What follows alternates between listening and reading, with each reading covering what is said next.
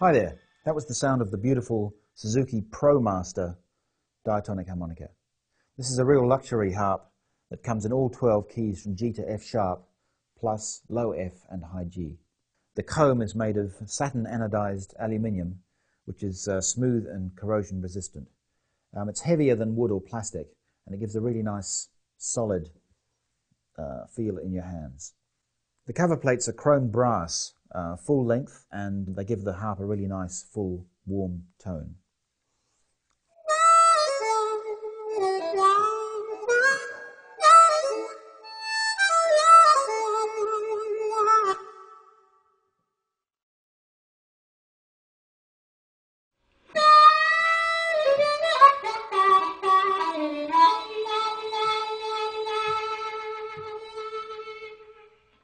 Suzuki own Hammond, the uh, makers of the famous Hammond organs.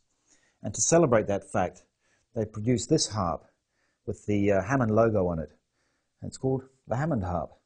It comes in all 12 keys from G to F sharp, uh, as well as low F and high G. It's got the same uh, luxury components as the ProMaster, but on the Hammond, the satin anodized aluminium comb is black, and the cover plates are lacquered with a very smooth, cool black finish. The Hammond harp, it's a real great blues machine.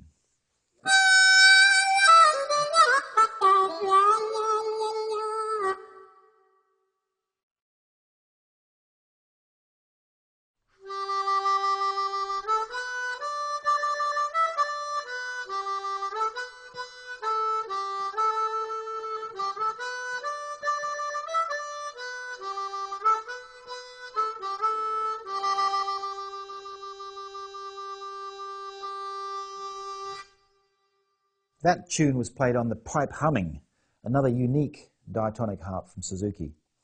It's got the same uh, high quality reed plates and uh, satin anodized aluminium comb as the ProMaster and the Hammond harp, and also it comes in all 12 keys from G to F sharp, including uh, low F and high G.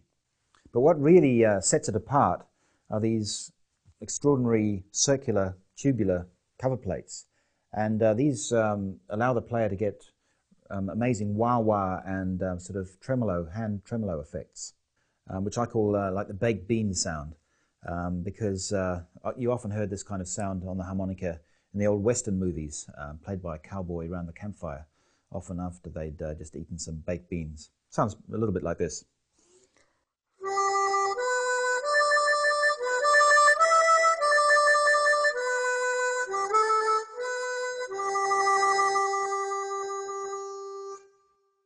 The Suzuki Hammond harp, ProMaster, and Pipe Humming.